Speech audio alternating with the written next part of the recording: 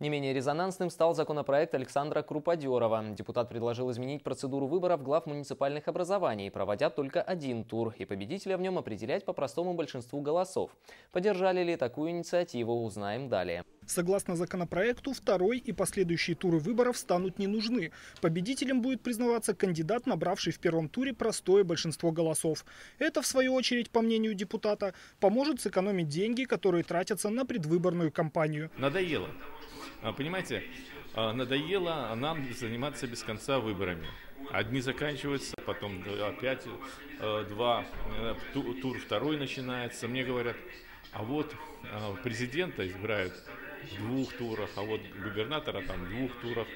Ну давайте не будем сравнивать выборы э, в муниципальном образовании, где 3000 человек, и мы их проводим в два тура, и там э, неизвестно, что у нас происходит, и выборе президента. Однако с такой точки зрения многие депутаты не согласны. По их мнению, законопроект нарушает конституционные нормы, а кроме того позволит легче побеждать кандидатам от партии власти, усложнив тем самым жизнь оппозиции. Это же глава, это не депутат, который реализует себя потом через коллективный орган, совет или думу, а это глава, который, как правильно было сказано, обладает э, правом э, исполнить распорядительные функции.